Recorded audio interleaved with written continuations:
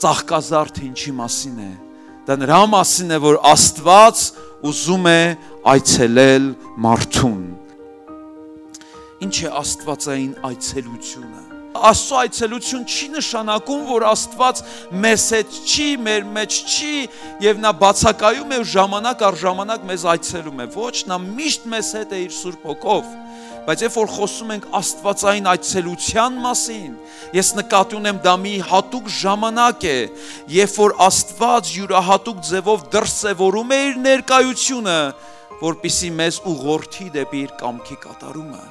ինչ որ բան է ուզում Աստված անել մեր կյանքում, դրա համար նա մեզ արժանացնում է իր ներկայության հատուկ դրսևորմանը։ Բայց հարցը սա է, արդյոք ճանաչում ես նրան նրա այցելած օրը։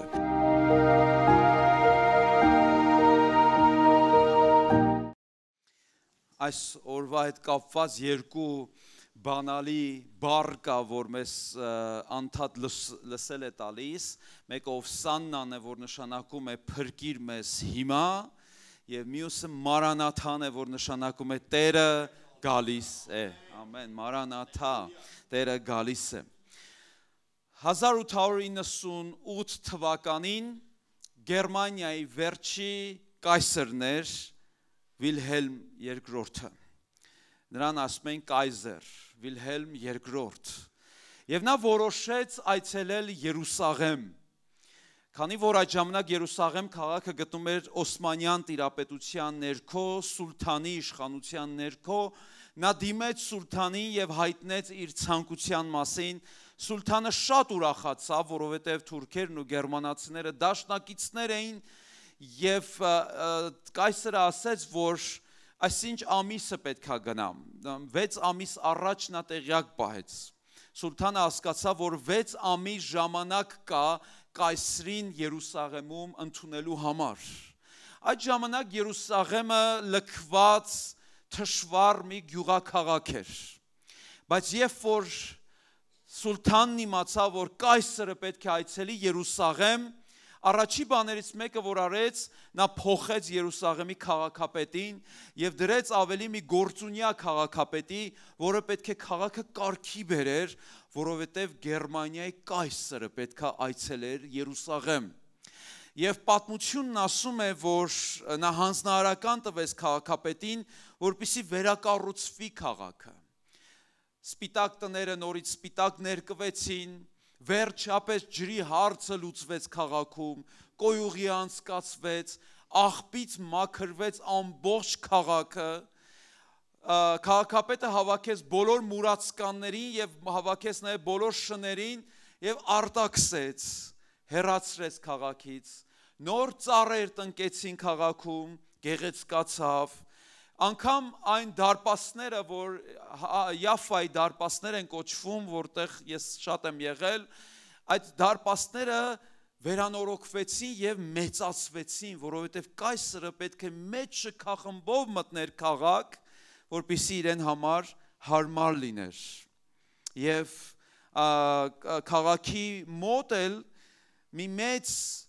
տարածություն առանձնացվեց շուրջ 70 վրաններով մի փոքրիկ քաղաք, որտեղ կայսրը իր շքախմբի հետ պետք է մնար այնտեղ։ Ամբողջ քաղաքը 6 ամիս պատրաստվում էր Գերմանիայի կայսրին դիմավորելու համար։ Եվ երբ որ կայսրը եկավ եւ Յաֆայի դարպասներով իր շքախմբով ներս մտավ, այդ նրան ներսում դիմավորեց հոց բազմությունը, լրագրողները իրանց մեծ ֆոտոխցիկներով այն ժամանակվա Եվ ասում է, որ քաղաքը քաղաք մտավ կայսրը 21 համազարգային զարկով օդ կրակեցին ի պատիվ կայսրի մուտքի։ Գիտեք, դեռ կայսրը չեկած ամբողջ քաղաքը վերանորոգվեց, թարմացավ ինչու, որ մի թակավոր պիտի ներս մտներ այդ քաղաք։ Պարիսները նորոգվեցին, փողոցները հարդարվեցին եւ կարգի բերվեցին, որովհետև կայսրն է գալիս։ Բայց կայսրը եկավ եւ գնաց, կարճ ժամանակ հետո քաղաքը նորից դարձավ լքված, գյուղակաղակ շները վերադարձան, մուրացկանները վերադարձան, աղբը որտեղ թափվում էր, չեր հավաքվում այդտեղից։ Ինչու, որովհետև այդ կայսրի մուտք այդ քաղաք չփոխեց քաղաքի բնակիչների կյանքը։ Վիլհելմ II-ից Հարավոր տարիներ առաջ, շուրջ 2000 տարի առաջ մեկ ուրիշ թակավոր մտավ Երուսաղեմ։ Նա չմտավ սպիտակ ձյու վրա հեծած ինչպես կայսրը։ Նա մտավ ավանակի վրա, ցույց տալով իր հեզությունը եւ իր խաղաղության падգամը բերեց ավանակի հետ միասին, որովհետեւ ավանակի վրա նստում էին այն թակավորները, որոնք չէին գալիս նվաճելու, որոնք չէին սփռում մահ ու պատերազմ, այլ խաղաղություն էին բերում։ Բայց այդ կայսրը, այդ թակավորը չէր եկել նվաճելու Երուսաղեմը, եկել էր նվաճելու մարկանց սրտերը եւ այդ թակավորի անունն էր Տեր Հիսուս Քրիստոս։ Մատթեոս ավետարան 21-ի 10-ում գրված է, որ քաղաքը ցնցվեց եւ ասացին այս ով է եկել մեր քաղաք։ Քաղաքը խառնվեց իրար, այդ ժամանակ Երուսաղեմը տոնական էր տրամադրված, մարդիկ ուրախ էին, ցնծության մեջ էին, վերջապես բարձյալի որդին է եկել, Դավթի որդին է եկել, ով սանն, այսինքն փրկիր մեզ հիմա, վերջապես մենք ռոմեական լծից կազատվենք։ Քաղաքը սпасում էր քաղաքական գործին մի թակավորի, որ պետք է հռոմեական ստրկությունից ազատեր նրանց բայց նրանց ողքեվորությունը տևեց ընդամենը 5 օր, որովհետև այդ նույն քաղաքը պիտի հետո աղաղակեր եւ ասեր խաչիր նրան, որովհետև նրանց ակնկալիքներն ու սпасելիքները չիրականացան։ Քրիստոսը չարթարացրեց նրանց քաղաքական սпасելիքները։ Նա իրեն չերչակեց այդ քաղաքի թակավորը, որովհետև նա ուզում է մեր սրտերի թակավորը լինի։ Ղուկաս ավետարան 19-րդ գլխում նկարագրվում է մեր Տեր Հիսուս Քրիստոսի լացը։ Ինչու էր նա լացում։ Նրան արքայավայել դիմավորեցին, նրան ամենայն գերագույն պատիվ տվեցին։ Ես կարծում եմ դարեր շարունակ եւ եղբայրներն էլ գուցե համաձայնվեն Երուսաղեմը նման իրադարձություն չէր տեսել։ Գուցե Դավթից հետո նման տոնական ընդունելության որևէ թակավոր չէր արժանացել։ Ապա ինչու համար սուք արեց Հիսուսը, ինչու լաց եղավ փոխանակ ուրախանար նման ընդունելությունից։ Ղուկաս ավետարան 19-րդ գլխի 41-րդ խոսքն ասում է. եւ երբ մոտեցավ քաղաքը տեսնելով լաց եղավ նրա վրա ու ասաց. գոնե գոնե այսօր դու էլ իմանայիր ինչպես խաղաղություն գտնել, բայց հիմա այն քո աչքերից ծածկված է, որովհետև քեզ վրա օրեր պիտի գան, ու թշնամիներդ շուրջդ պիտի պատնեշապատեն եւ քեզ պաշարեն ամեն կողմից քեզ պիտի նեղեն քեզ զավակներիդ հետ հիմնահատակ պիտի անեն եւ քարդ քարի վրա չպիտի թողնեն ինչու համար նման դատաստան ինչ էր արել այդ քաղաքը որ պիտի արժանանար նման դառը ճակատագրի նման դաժան դատա վճռի եւ Հիսուսն ասում է քանի որ դու չճանաչեցիր այն ժամանակը երբ քեզ այցելության եկավ Տերը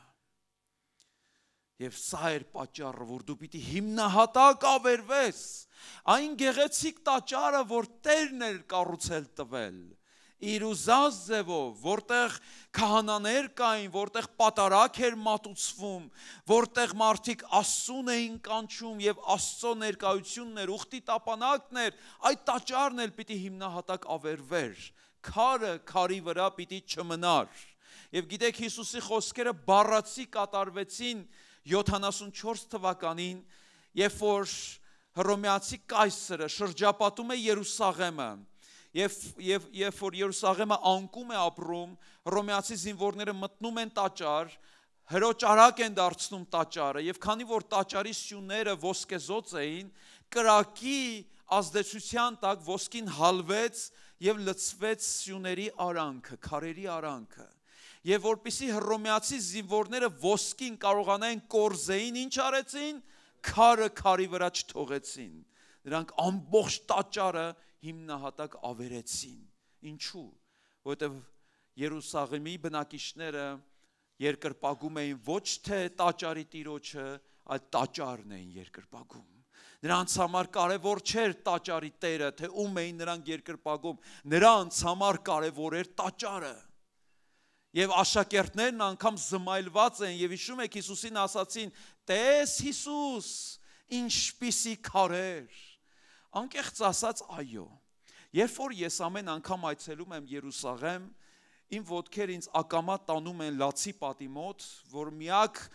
միակ վկան է տաճարից մնացած եւ ես ապշում եմ այդ քարերի մեծությամբ։ Ես որևէ տեղ նման մեծ քարերով շինվածք չեմ տեսել։ Եվ տպավորիչ է դա։ Բայց ցավն այն էր, որ հрьяները տպավորված էին ոչ թե տաճարի տիրոջով, այլ տաճարով։ Պարծենում էին ոչ թե տաճարի աստծով, այլ բուն տաճարով էին պարծենում եւ անգամ երթվում էին տաճարով։ Եվ դրա համար Տերն ասաց. Իմ տունը ձեզ համար կուրք է դարձել, աշտամունքի առարկա է դարձել եւ հիմնատակ պիտի ավերվի։ Այս պատերազմի ընթացքում է շատ տաճարներ տուժեցին եւ ավերվեցին։ Եվ ամեն տաճարի պատի վրա բացված այդ արկի գրադի կամ հրթիռի բացած այդ խորոչով կարծես մեր սրտում էր խորոչ բացվում որ մեր տաճարները մնացին այնտեղ բայց գիտեք ցավը ո՞րն է մենք հոգ ենք տանում ու սուք ենք անում մեր կորցրած տաճարների մասին բայց չենք մտածում մեր տաճարի մասին որ ամենակարևորն է չենք մտածում, որ մենք մեր տաճարներն ենք ապականում, իսկ Աստծո խոսքն ասում է, ով որ Աստծո տաճարն ապականի, ինչ կանի Աստված նրան, Աստված նրան կապականի։ Մենք ափսոսում ենք մեր կորցրած տաճարների մասին, բայց չենք ափսոսում մեր կորցրած օրերի մասին, որը այս տաճարը պարապ զբաղմունքներով է զբաղվել աղոթելու փոխարեն, Աստված պաշտության փոխարեն։ Եվ Հիսուսն այստեղ ասում է, քանի որ դու չճանաչեցիր քեզ այցելած տիրոջը, ահա թե ծաղկազարդ ինչի մասին է։ Դա նրա մասին է, որ Աստված ուզում է այցելել մարդուն։ Աստված ուզում է այցելել քեզ, քույրս, եղբայրս, եւ Աստված բոլորին է այցելում, բայց հարցը սա է, արդյոք ճանաչում ես նրան նրա այցելած օրը։ Գիտեք ինչու հрьяները նրան չճանաչեցին, որովհետև նրանք մտածում էին, որ իրենց թակավորը պետք է սպիտակ ձյու վրա նստած գար, սուրը зерքը ինչպես մեր առասպելական սասունցի Դավիթը հրեղեն սրով, քուրկիկ ջալալիով պետք է մտներ եւ հռոմեացիներին ցեղասպանության ենթարկեր, ազատագրեր Երուսաղեմը, հրճակեր իր թակավորության մայրաքաղաք։ Նրանք այդպես էին սпасում Մեսիային։ Դրա համար նրանք հիասթափվեցին, երբ որ իրենց թակավորին տեսան խաչից անօքնական կախված եւ հեգնանքով նրա դատավճիռը տախտակի վրա գրված էր հրեից թակավոր։ Հрьяաները խորը հիասթափություն ապրեցին, որ իրենց թակավորը այնքան անճարակ դարձավ, որ խաչից կախվեց։ Եվ նրանք չէին հասկանում, որ դա Աստված էր, որ իր որդուն ուղարկել էր մեր մեղքերի համար իբրև մատաղացու գար զոհվելու։ Նրանք չճանաչեցին Տիրոջը։ Ինչ է Աստվածային այցելությունը։ Հիսուսն ասաց. «Քեզ այցելության օրը դու չճանաչեցիր»։ Քուրեր եղբայրներ, ես հավատում եմ, ամեն մեկս Աստծուց ունենք նշված ժամադրված օր, որ Աստված ուզում է այցելել մարդուն եւ նրա այցելությունը մեր կյանքը պիտի փոխի։ Դա Աստծո այցելություն չի նշանակում, որ Աստված մեզ հետ չի, մեր մեջ չի եւ նա բացակայում է ժամանակ առ ժամանակ մեզ այցելում է։ Ոչ, նա միշտ մեզ հետ է իր Սուրբ Հոգով Բայց երբ որ խոսում ենք Աստվածային այցելության մասին, ես նկատի ունեմ դա մի հատուկ ժամանակ է, երբ որ Աստված յուրահատուկ ձևով դրսևորում է իր ներկայությունը, որpիսի մեզ ուղղորդի դեպի իր կամքի կատարումը։ Ինչ որ բան է ուզում Աստված անել մեր կյանքում, Դրա համար նա մեզ արժանացնում է իր ներկայության հատուկ դրսևորմանը։ Երբ որ ես նոր էի ապաշխարել 90 թվականն էր, հայտնվեցի Աբովյանում եկեղեցում եւ մի քրոջ վկայություն լսեցի, որ պատմում էր աղիողոր մարցունքներով եւ վկայություն հետեւյալն էր, ասում է շատ էի փափագում, որ Տիրոջը տեսնեի շատ էի աղոթում եւ ասում եմ Տեր կլինի մի անգամ ինձ պատվի արժանացնես եւ ինձ այցելես Եվ ասում ես պատկերացնում է որ ահա Տերը իր վեհապար գեղեցկությամբ պիտի այցի գա երազով կամ տեսիլքով եւ աղոթում ու սպասում է, աղոթում ու սպասում է։ Եվ ասում եմ մի օր տեսնեմ որ մեկը դուրս թակեց, դուրս բացեցի, տեսա ցնցոտիներով մի ծերունի էր կանգնած դրանից դիմաց։ Եվ ասաց քույրիկ, ջուր կտաս ինձ խմելու ասում եմ ինչև կգնամ խոհանոց որ ջուր բերեմ տեսնեմ այս ծերունին ցեխոտ ոդքերով ներս մտավ ու նստեց մեր բազմոցին հարմարավեց ասում եմ ներսումը սկսեցի տագնապել ասի ով այս անկոչ հյուրը որ այսպես ներխուժեց իմ տուն բայց ասում եմ մյուս կողմից է խիղճս ինձ հանդիմանում է ես քրիստոնյա եմ հյուրն աստծուց է ես չեմ կարող իրեն վռնդել ուրեմն այս մարդը կարիք ունի ասում եմ բայց ես էլ ուշանում եի աշխատանքից ջուրը տվեցի, տեսա, որ արդեն ժամանակն անցնում է, մարդն էլ ձեն չի հանում, եւ ասում են տունն է շատ խեղճուկրակ մի տուն էր, բան չկար էլ որ վախենայի մի բան կտանեին, ասի ծերուկ ես հիմա գնում եմ գործի, եթե դու հոգնած ես, ուզում ես պարկես հանգստանաս, պարկի բանալին կթողնեմ սեղանին, երբ որ գնաս կփակես, կդնես շորի տակ։ Չէ՞ մեր բանալի ամենաապահով տեղն է պահելու, չէ՞։ Շորի տակ եմ դրել բանալին գոնե հարևանի շորի տակ դնենք, որ բանալին չբռնի։ Եվ ասում է, ես այդպես գնացի աշխատանքի։ Բայց ամբողջ օրը մտքերիս մեջ ինչ տորինակ մարդ էր, ով էր այդ մարդը, վերադարձա տուն, տեսա տունս հարդարված, կոկիկ, մաքուր, որևէ ցեխի հետ չկար, բայց սեղանից վրա մի գրություն էր դրված։ Ասում է, ես եկա, բայց դու ինձ չճանաչեցիր եւ այդ քույրը աղյողում լացում էր, ասում էր, չէի պատկերացնում, որ Տերը կարող էր այդ ձևել այցելեր ինձ։ Եւ այստեղ Հիսուսն ասում է, ես քեզ այցելեցի, բայց դու ինձ չճանաչեցիր։ Առաջի Պետրոս երկրորդ գլուխ 12 12-րդ խոսքում Պետրոս առաքյալը հետեւյալն է ասում Աստծո այցելության մասին։ Առաջին Պետրոս 1:2-ի 12-ը հեթանոսների մեջ լավ վարկ ունեցեք, որpիսի այն բանում ինչում ձեզ իբրև չարագործների բամբասում են, հնարավոր է չէ՞ մեզ բամբասեն։ Ամենաշատ ումից են բամբասում, իհարկե հավատացյալներից։ Գնում են, ինչ են անում, ով գիտի, մի բան կա, ինչ կասես կխոսեն, եւ դա նորմալ է, ասում եք բամբասեն, բայց ձեր բարի գործերը տեսնելով թող փառավորեն Աստծուն, երբ այցելության օրը ահա այս առանց հատուկ արտահայտությունն եմ ուզում առանձնացնել այցելության օր որ երբ որ այդ հեթանոսը արժանանա Աստծուց այցելություն երբ որ Տերը նրան այցելի եւ նա ապաշխարի նա փառավորի Տիրոջը քո պատճառով Քուրեր եղբայրներ, եթե դու այստեղ ես, եթե դու Տիրոջը ճանաչում ես, կյանքդ փոխվել է, վստահ կարող եմ ասել, դու Աստծուց այցելության օր ես ունեցել։ Տերը քեզ այցի է եկել։ Կան այստեղ մարդիկ, որոնք վստահ կարող են ասել, այո, Տերն ինձ այցելել է։ Ամեն։ Մի Կիրակի օր մի քարոզիչ բեմ է բարձամ հարության Կիրակին, երբ որ այդ շափատ այդ երկրում աթեիստները արշավ էին սկսում, որ Հիսուսը հարություն չի առել, Հիսուսը չկա, նա մահացած է եւ այլն, եւ այդ օրը այդ քարոզիչը բեմ բարձրացավ ասաց, եթե Հիսուսը հարություն չի առել, ապա այս առավոտ իմ հետով էր խոսում։ Տերը խոսում է մեզ հետ։ Տերը այցելում է մեզ, Տերը փոխում է մեր կյանքը, Տերը մեզ անճանաչելի է դարձում իր այցելության օրը։ Եվ եթե Վիլհելմ Կայսրի այցելությունից դեռ 6 ամիս առաջ քաղաքը պատրաստվել էր, բայց Երուսաղեմը դեռ պատրաստ չէր, նրա այցելությանը եւ չճանաչեց էլ նրան եւ 5-րդ օրը նրանք հիասթափվեցին եւ նրան ուրփատ օրնել խաչեցին Եթե Վիլհեմի այցելությունից Երուսաղեմ արտակնապես էր փոխվել, Հիսուսի այցելությունից մեր ներսն է փոխվում։ Դերեկ Պրինսն ասում է, Աստված հետաքրքրված չի քո արտակինը փոխելով առաջնահերթ։ Աստված հետաքրքրված է քո ներսը փոխելով։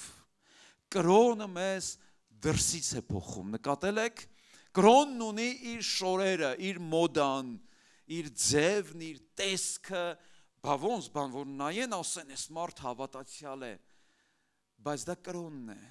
Քրիստոսը մեզ ներսից է դուրս փոխում։ Այո, եթե դու քո ներսը փոխված է, դուրսդ էլ կփոխվի, բայց նա գալիս է որպիսի մեր ներսը փոխի, որպիսի դուրսն էլ փոխվի։ Առաջին Աստծո այցելություն երբ էր գրված է օրվա հով ժամին Աստված Ադամին այցի էր գնում։ Ինչի համար էր Աստված այցելում մարդուն։ Միթե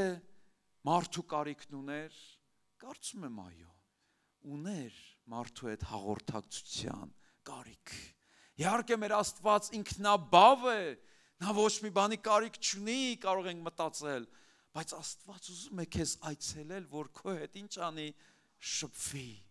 Դրա համար Աստված աղոթքը որպես միջոց բացահայտեց մեզ համար, որ ոչ թե մենք կրոնական ծես կատարենք, այլ մեր սիրտը բացենք եւ մեր հոր հետ հաղորդակցվենք, որովհետեւ նա ուզում է այցի գա մեզ։ Հիսուսն ասաց, որտեղ երկուսը եւ երեքը հավաքվեն, ես այցի կգամ իրենց։ Ես իրենց մեջ կլինեմ։ Ինչու նա ուզում գա մեր մեջ։ Նկատել եք միջոցառումներ կան, որտեղ 2-3 հոգի կանգնած ջերմ խոսում են իրար հետ, դու էլ առանձին կանգնած ես, մարդու չես ճանաչում, ես ես նախանձավորությամբ նայում ես, ասես ինչ լավ է իրանց անցնում։ Մեր Տերն ուզում է 2-ի եւ 3-ի մեջտեղում լինել, հաղորդակցության կենտրոնում լինել։ Բայց մեղանչումից հետո Աստծո այցելության նպատակները փոխվեցին եւ մեղանչումից հետո Աստված բացառապես երկու պայմանով է այցելում մարդկությանը։ Առաջին պայմանը այն է, որ նա գալիս է որպիսի մարդկությանը փրկի։ Ծննդոց 50-րդ գլխի մեջ 24-րդ խոսքում ծննդոց 50-ի 24-ը Հովսեփը այս հայտնությունը փոխանցեց եղբայրներին եւ ասաց ահա ես մեռնում եմ Աստված անպայման կայցելի ձեզ կհանի ձեզ այս երկրից եւ կտանի այն երկիրը, որ երթվեց տալ Աբրահամին, Իսահակին եւ Հակոբին։ Աստծո այցելության նպատակը առաջինը սա էր, որպիսի փրկի մեզ։ Եվ երկրորդ այցելության նպատակը Եսայա մարգարեության 29-րդ գլխի մեջ է գրված, Եսայա 29-5-ից 6-ում, ահա ել ինչի համար է Աստված այցելում մարդկությանը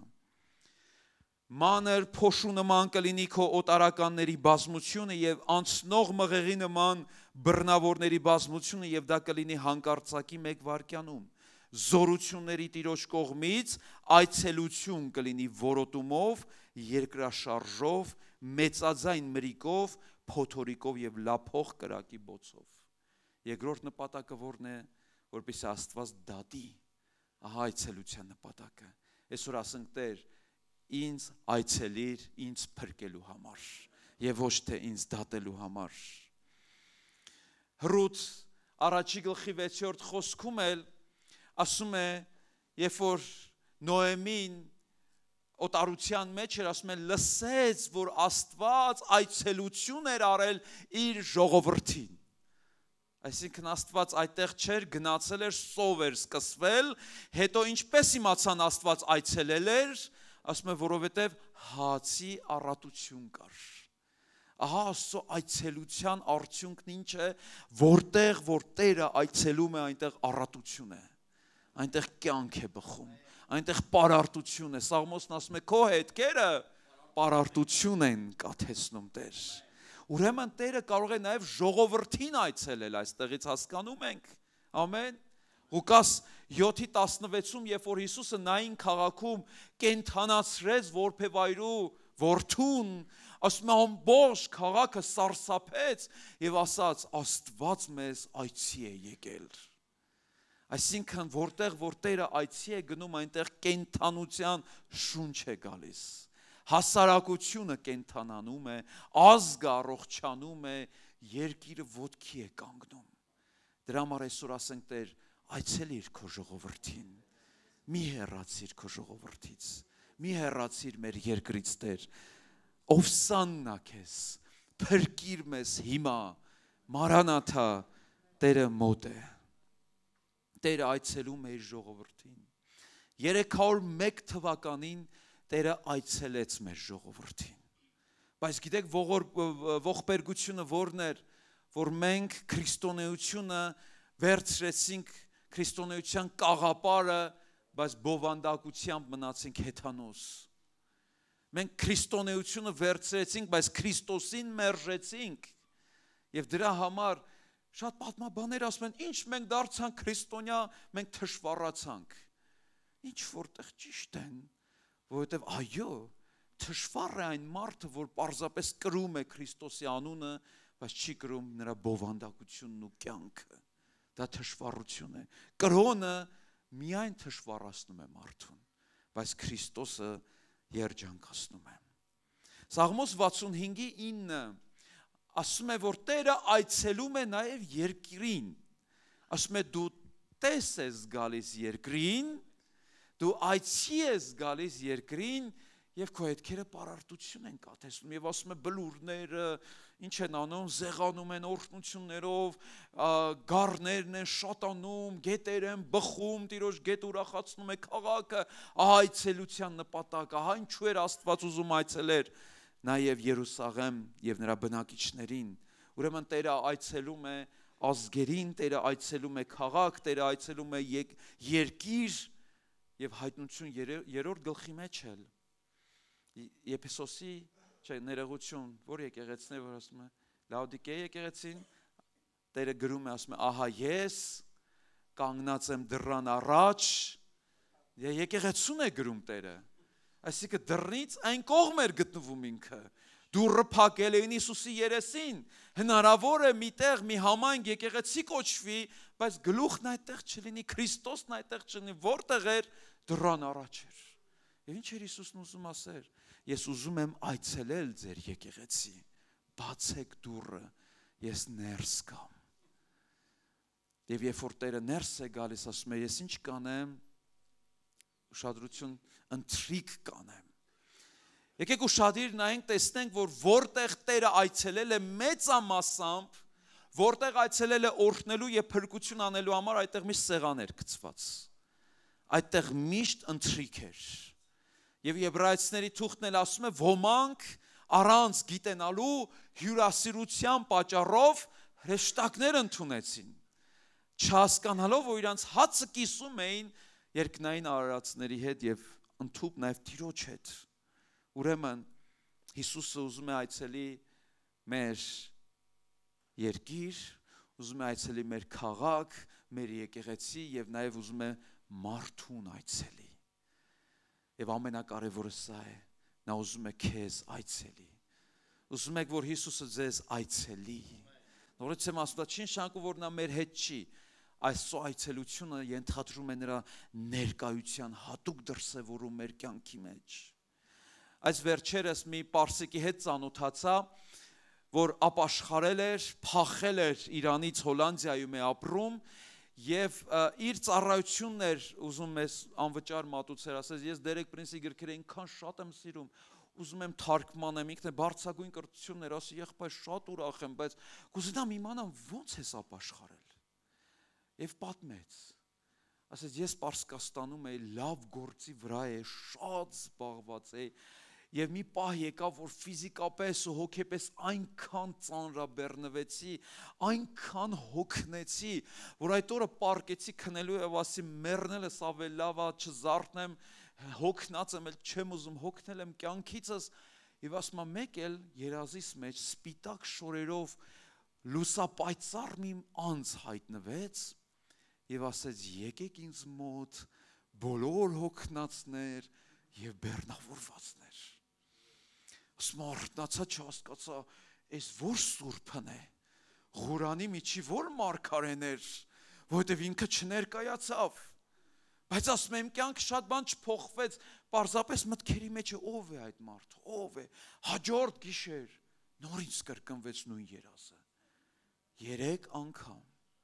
Եվ ասում է, երբ որ ես գնացի աշխատավայր, արդեն այլայլված է երազի տպավորության տակ, եւ մի քրիստոնյա ասում է աշխատող ունեինք, որ նայեց ինձ ասեց, եղբայր, էս իրե քորա դու դու չես։ Մի բան է կատարվում քո հետ, ինչ է կատարվում, ասում է, սիրտս բացի ասի, անկեղծ ինչ թաքցնեմ մի հատ սպիտակ շորերով անznավորություն է գալիս երազից մեջ ասում է ով որ հոգնած է թող ինձ մոտ գա եւ իմ լուծը իրա վրա վերցնի այ մարդ ով է այդ մարդը ոնց գնամ իրա մոտ եւ ասում է բացես նոր կտակարանը ինձ ցույց տվեց ճիշտ այն նույն խոսքերը որ բար-բար Հիսուսն էր ասել. Ինձ մոտ եկեք բոլոր հոգնածներ եւ բեռնավորվածներ եւ ես գնացի Հիսուսի մոտ ինչ էր արել Հիսուսն իրեն այցելել էր երբ որ այցելել էր ինչ էր եղել նրա հետ մուսուլմանը դարձել էր իսկական քրիստոնյա ահա Աստծո այցելությունը հարբեցողը դառնում է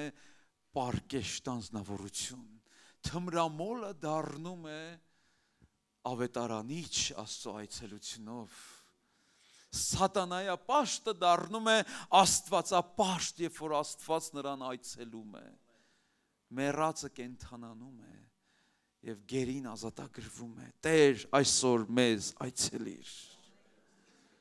շատ արագ կնայենք մի քանի անznավորության ու կաղոթենք, որոնց Աստված այցելեց։ Եթե Քրիստոս այն ժամանակ Երուսաղեմ այցելեց, բայց դա նրա առաջին այցելությունը չէր Երուսաղեմ։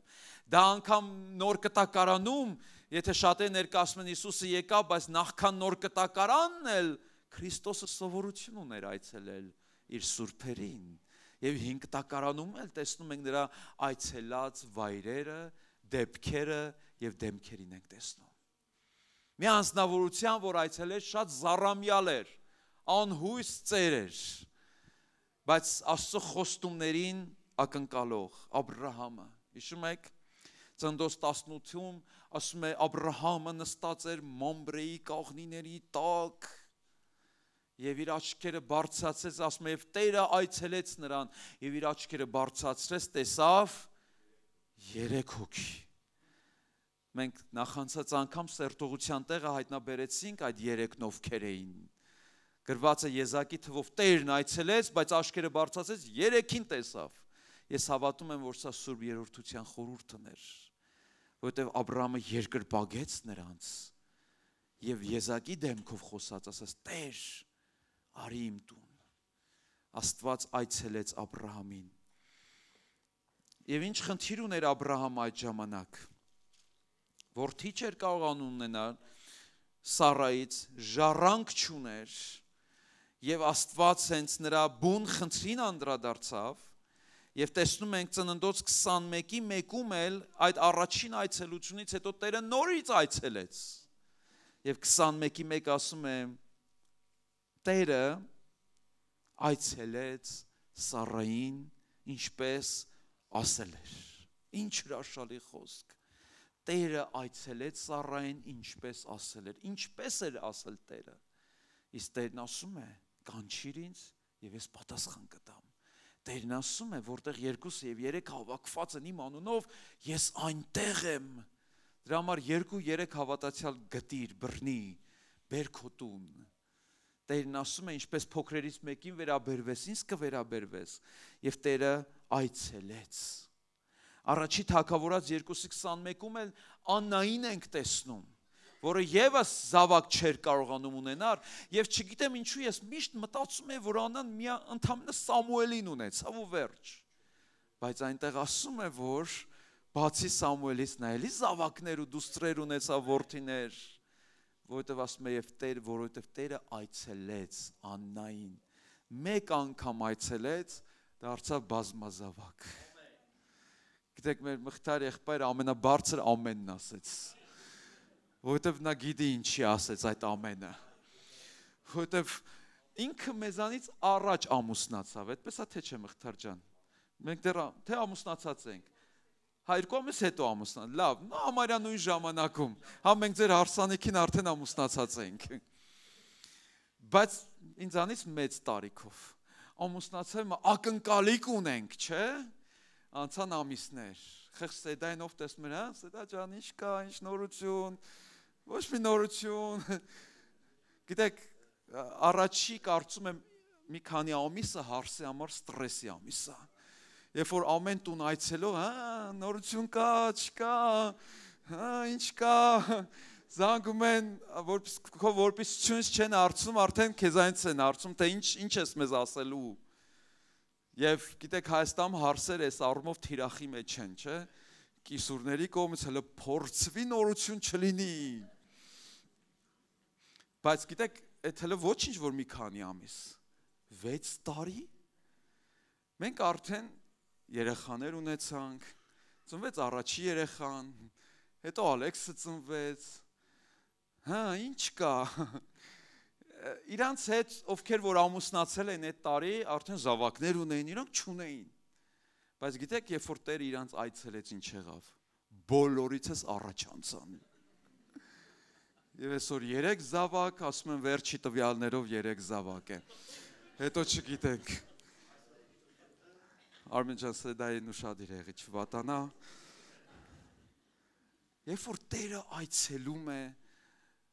ամուլը ծնում է եւ չբերը ծնում է եւ կյանքի առաջանում այդտեղ։ Մերածը հարություն է առնում, կյանք է փոխվում այդտեղ։ Աբ รา համը հայրացավ, Սառան մայրացավ Տիրոջ այցելությունից։ Երկրորդ անznավորությունը, որին տեսնում ենք Տիրոջ այցելությունը ինչ արեց,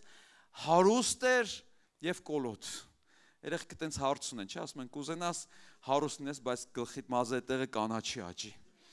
Հիմա Զաքյոսին գուցե հարցել են, ասեն կուզենաս հարուստնես, բայց կոլոտ։ Շատ կոլոտ էր ինքը։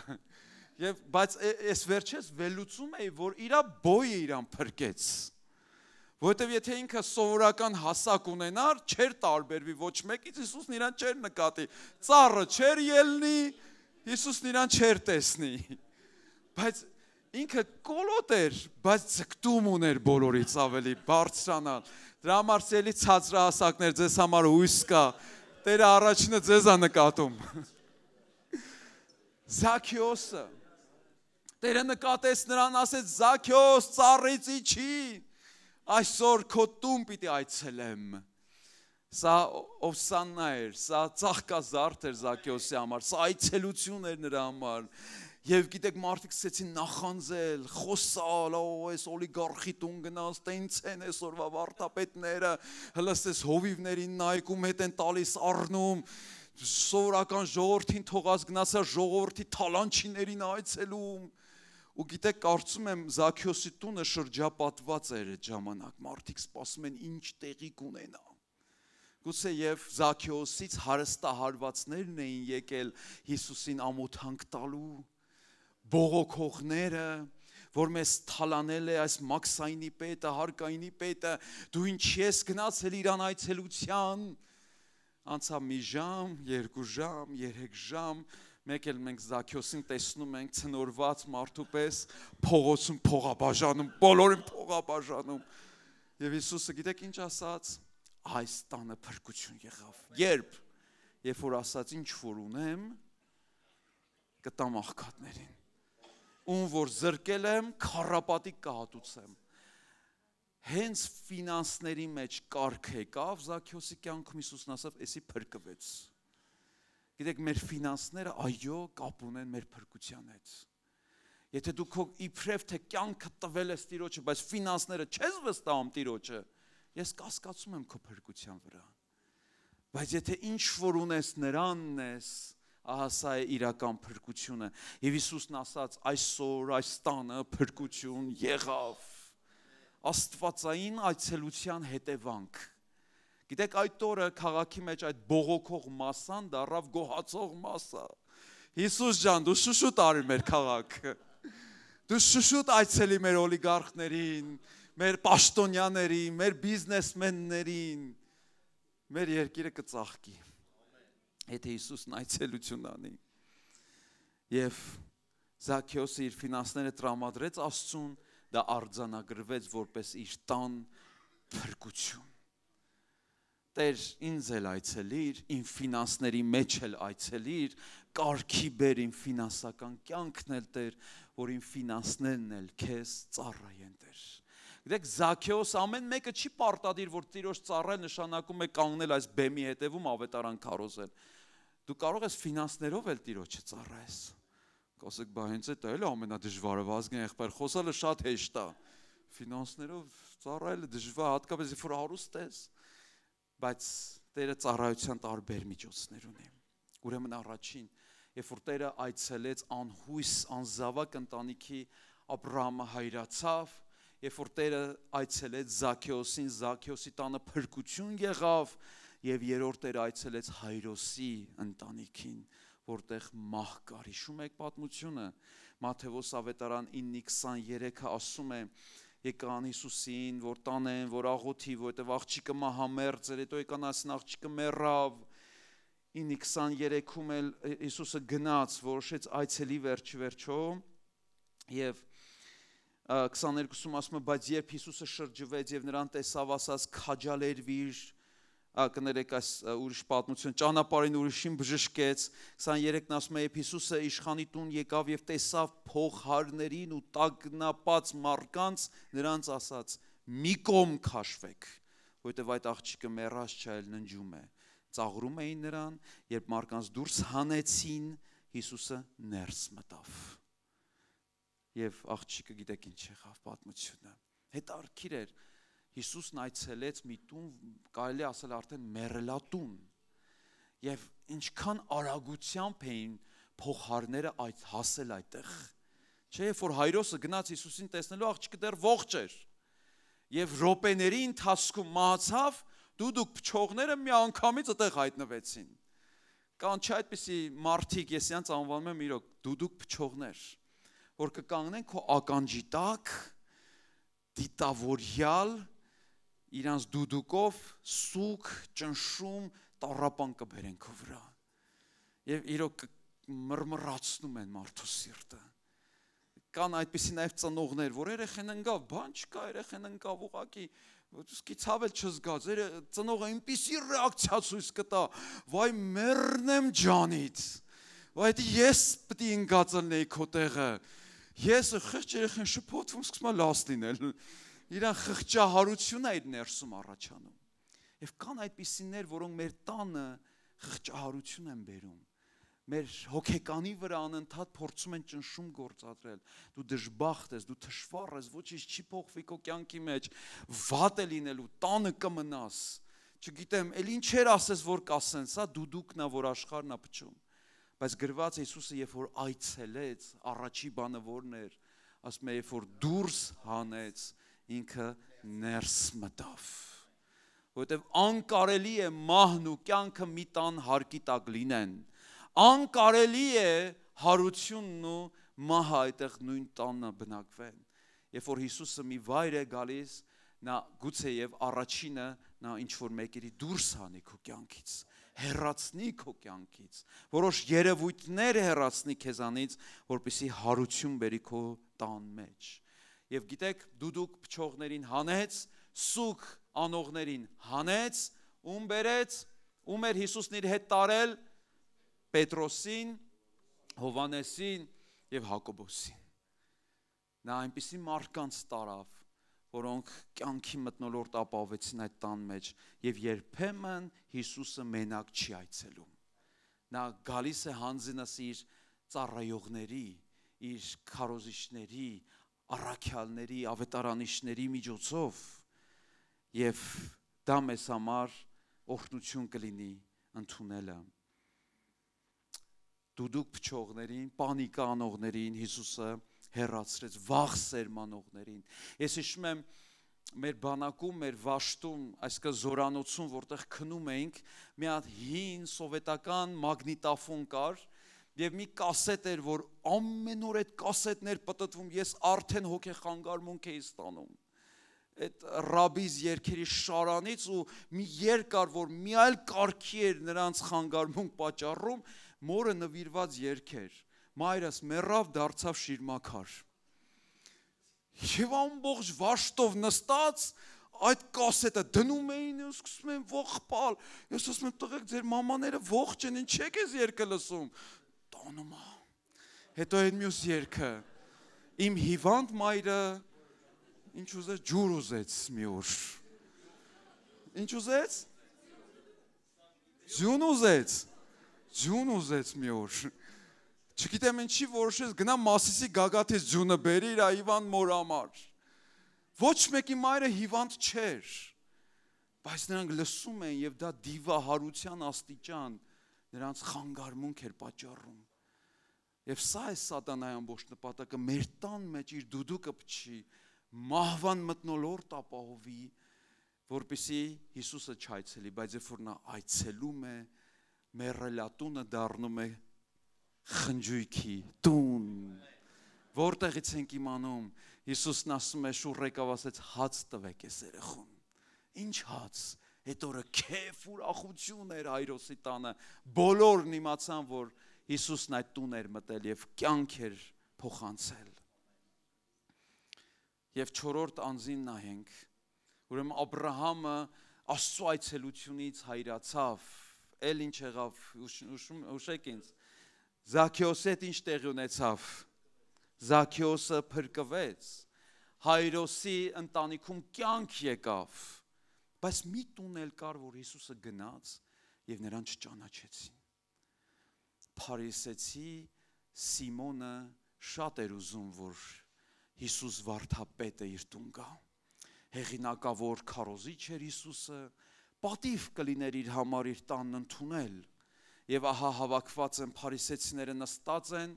խնջույք է Հիսուսի պատվին կերուխում է տրված այդտեղ եւ հանկարծ մտավ մի կին որը Սիմոնից ավելի լավ էր հասկացել ով էր Հիսուսը հիշում եք ասում է իր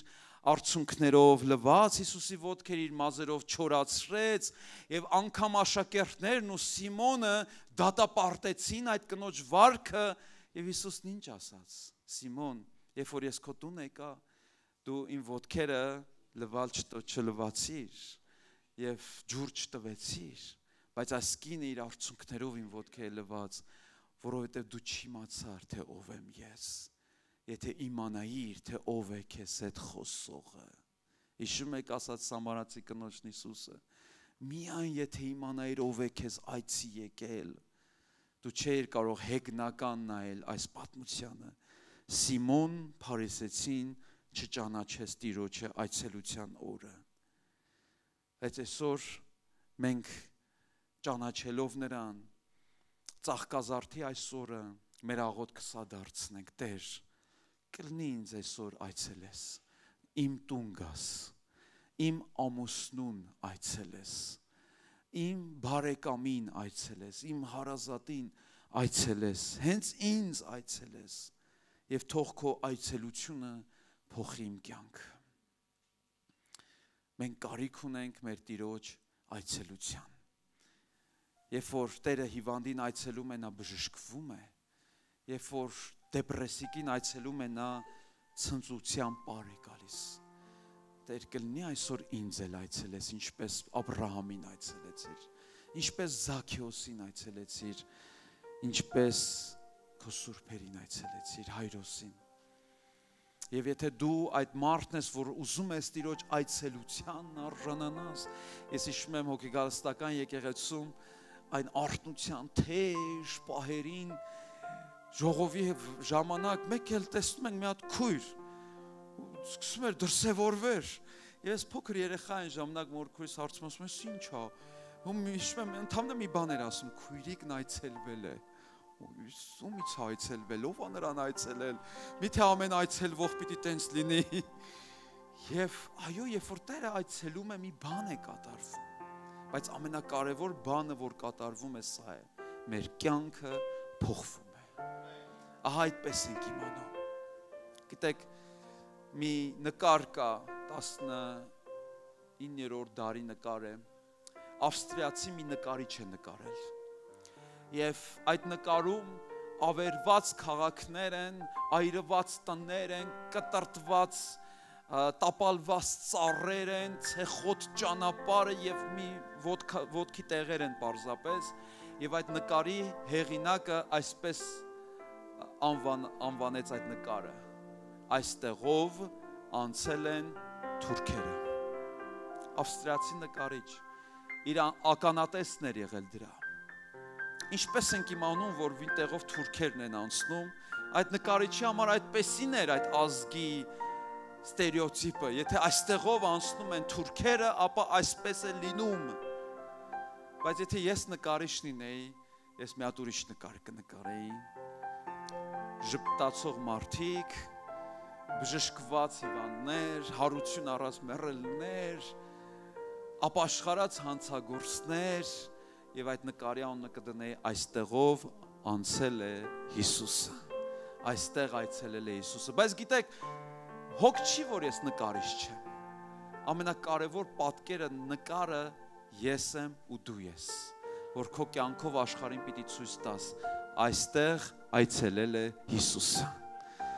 Այստեղ այս դեմքս, որ հիմա ճպտում է, աչքերս, որ փայլում են, մի բանի մասն է խոսում։ Ես Հիսուսի այցելած տունն եմ։ Եկեք կանգնենք Տիրոջ առաջ։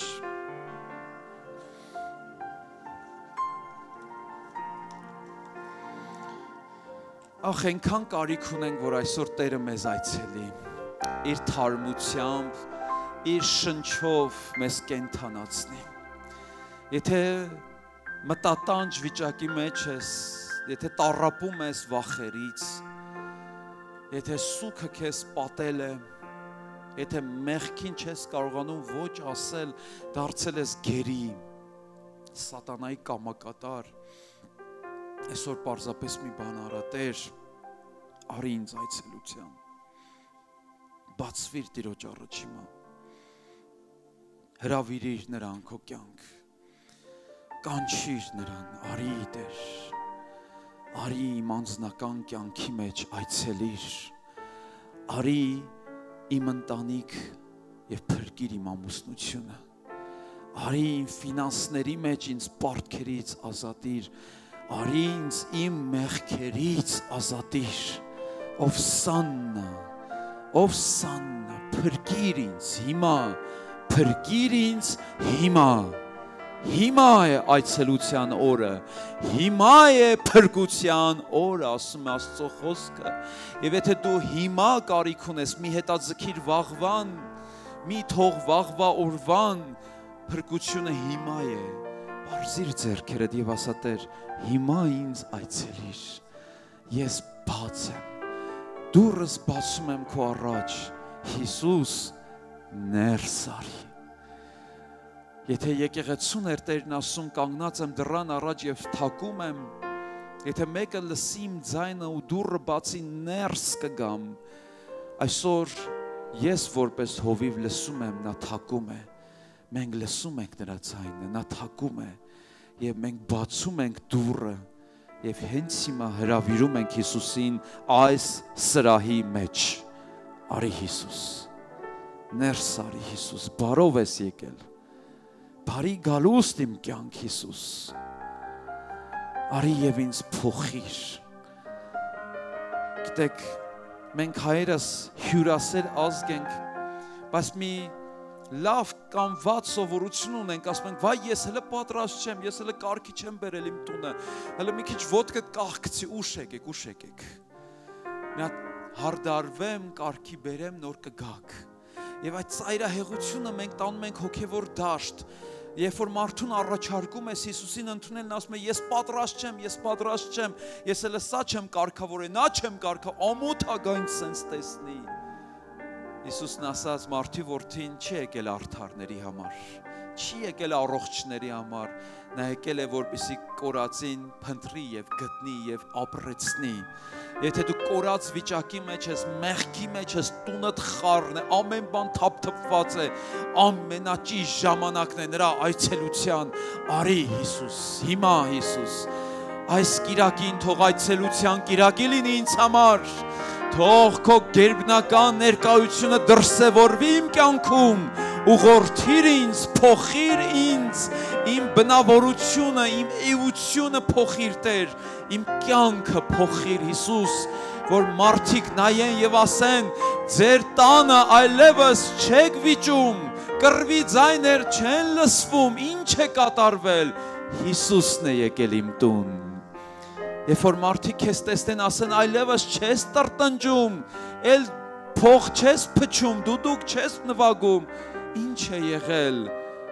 Հիսուսն է եկել իմ տուն։ Երբ որ մարդիկ հարցնեն եւ ասեն, ինչ է կատարվել քեզ հետ, քո դեմքն է փայլում, Հիսուսն է եկել իմ տուն։ Արի ուրեմն Հիսուս, հիմա մի հապաղիր։ Հենց հիմա թող որ ես այցելվեմ քեզանից Տեր։